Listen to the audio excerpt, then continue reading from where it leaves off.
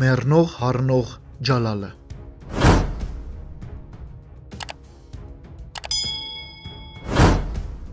Նման քաջերոսներին շատ է սիրում նաև մահը։ Տարիներ շարունակ նրա մահն է տենչացել, նրան սպանելու մարմաջով է ապրել թշնամին եւ առնվազն 3 անգամ սպանել է։ Այսպիսով 2015 թվականի դեկտեմբերին Ադրբեջանի պաշտպանության նախարարությունը հայտարարեց, որ սպանել է գնդապետ Ջալալ Հարությունյանին։ Հայտարարությունից մի քանի ժամ անց Ջալալը ելույթ ունեցավ Արցախի հերոստատեսությամբ։ 2016 թվականի քարորիայի ժամանակ ապրիլի 4-ին ադրբեջանցիները հայտարարեցին, որ ոչնչացրել են Ղարաբաղի հրամանատարական կետերը, սպանելով նաև Ջալալ Հարությունյանին, բայց շուտով զորավարը իր ազգանվան իմաստաբանության համապատասխան հարություն առավ։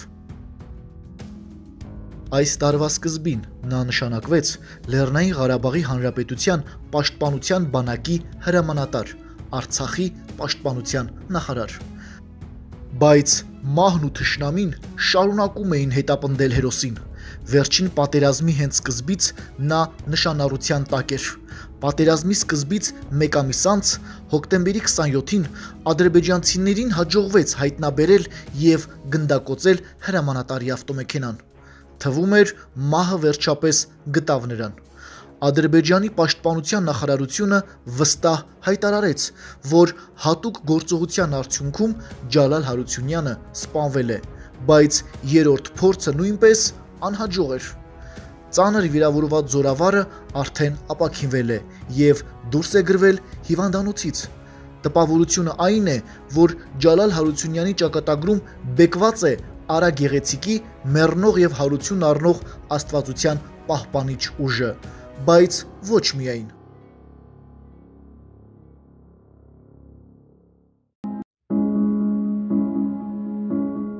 Երբ 17-ամյա Ջալալը փախել է տնից եւ միացել քարագլուխ դիրքի մարտիկներին, մայրը գնացել է հրամանատարի մոտ եւ պահանջել որդուն։ Հրամանատարը ժպտալով ասել է, որ տղան ինքնակամ է եկել։ Ջալալի մայրը Սվետլանա Արուշանյանը բուժքույր էր։ Նա դաստիարակված էր խորթային ոգով եւ չէր հավատում Աստծո գոյությանը։ Բայց օրերից մի օր Սվետլանային տեսիլք է երևում, որ ռազմաճակատում գտնվող իր տղան մեծ վտանգի մեջ է։ Նա դուրս է գալիս, ձեռքերը པարզում դեպի երկինք եւ աղերսում, որ Աստված փրկի իր երեխային։ Պարզվում է, որ այդ ժամանակ հետախուզության գնացած Ջալալը եւ ընկերը վերադառնալիս ուժասպառ վիճակում պարկում են անտառում եւ քնում։ Հանկարծ քնի մեջ տղամարդու մի ահազդու ձայն Ջալալին ասում է. «Վեր կաց տղա, դու վտանգի մեջ ես»։ Ջալալը վեր է թռչում, տեսնում, որ ընկերը կողքը քնած է, իսկ մի քիչ հեռու ծառերի տակ լսվում են ադրբեջաներեն ձայներ։ Ջալալը արագ արթնացնում է ընկերոջը, վերցնում են ավտոմատները եւ փախչում, ծառերի արանքից տեսնելով թշնամու զինված ջոկատը։ Այս պատմությունը մեզ հայտնի առաջին դեպքն է, երբ Ջալալ Հարությունյանին հաջողվել է փրկվել անխուսափելի թվացող մահվան ճիրաններից։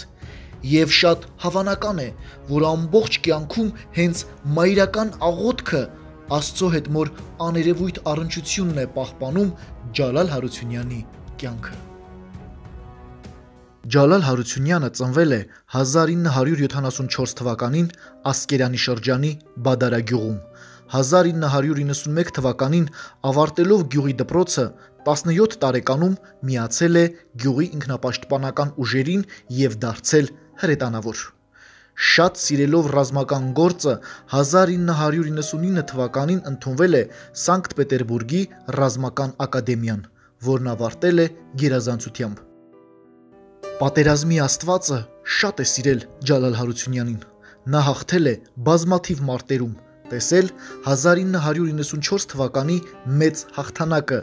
անցել զինվորական ծառայության ամբողջ աստիճանակարգը հրետանու հետախույզից մինչև Լեռնային Ղարաբաղի Հանրապետության պաշտպանության բանակի հրամանատար։ շարքայինից մինչև գեներալ լեյտենանտ։